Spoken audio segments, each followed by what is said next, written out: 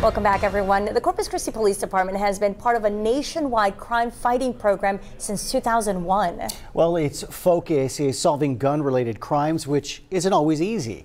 KRIS 6 News reporter Greg Chandler joins us live from outside police headquarters. And Greg, I understand the program is run by the ATF.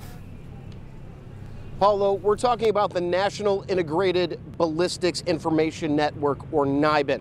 It's been operated by the ATF since the late 90s, but was revamped in 2016. Locally, NIBIN paid off for investigators in a big way not too long ago.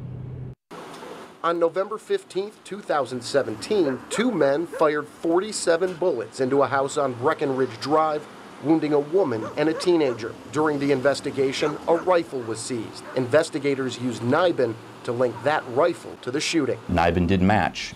I believe 19 of the shell of those 47 shell casings matched to the rifle that we seized. With that information, investigators identified the two shooters and the man who hired them. They were all sentenced to lengthy prison terms. If we wouldn't have had NIBIN, we might not have been able to prove they did that shooting.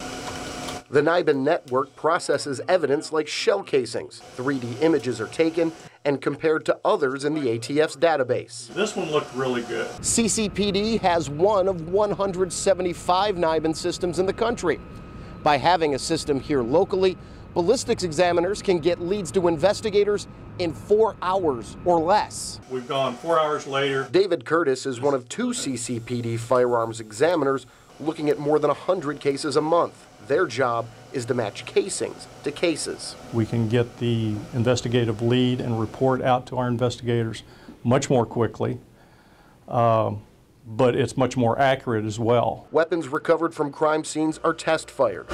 The results also entered into NIBIN. That data has produced 184 matches for CCPD in the past three years. But for crime victims, like those in the Breckenridge Drive shooting, this isn't a numbers game. That would have been sad, very sad, if we couldn't, because there were two victims in that shooting, uh, and one was a child. Right now, CCPD generally only compares data from the South Texas area, but NIBIN can perform nationwide searches. Paula? All right, Greg Chandler reporting live from police headquarters. Now, Corpus Christi police also use its NIBIN system to test ballistics for at least 10 other local agencies.